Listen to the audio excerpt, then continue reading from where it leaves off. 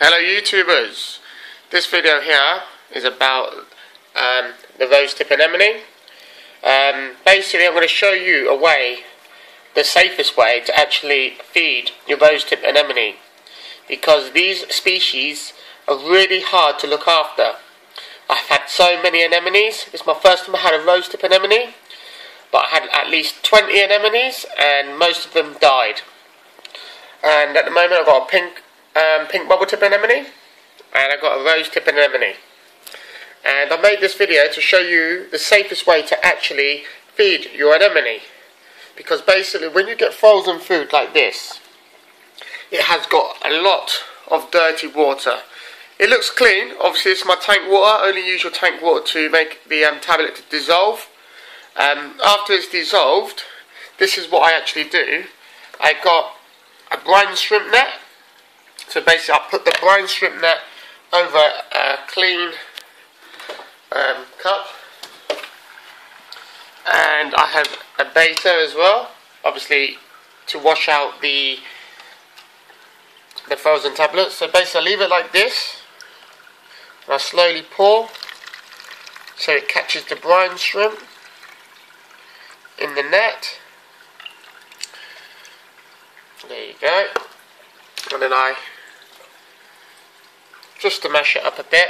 I just spray a bit more tank water on the brine shrimp. Okay. So now I haven't got none of that mucky or none of that murk murky water going into my tank. I've just got clean brine shrimp there guys. So now with the, the other cup, the empty cup I put a bit of tank, not that much but a bit of tank water in there.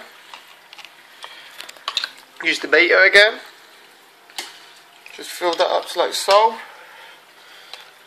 Now just flip the net like so. Just get, you know, just take all the brine shrimp, squirt all the brine shrimp off. You might, you might think it's a long procedure, but guys, trust me, if you don't do this, some some anemones don't like it.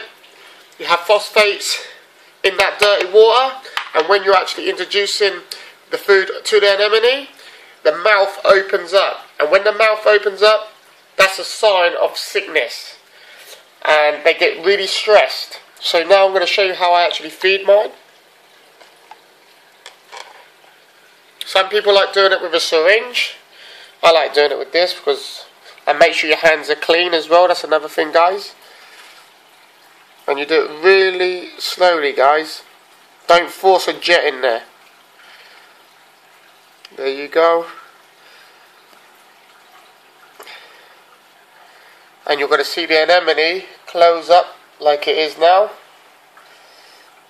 That's Mysis and a bit of brine in there, guys. You see how fast he's actually closed up? Mega fast. But yeah, guys, that's the same thing with the other corals as well, like the hammer. You know, bubble tips any LPSs, I, I would do the same feeding. I, that's how I feed my corals. And since I've done this, I have no problems. But when I used to feed it straight from a tablet, and they wasn't surviving, they would eat, obviously they would eat, and then you'll see signs of, you know, the growth is decreasing, they get smaller, and then sometimes they go out like gooey, and it smells like shit. I mean it. If you, if, if you ever killed an anemone,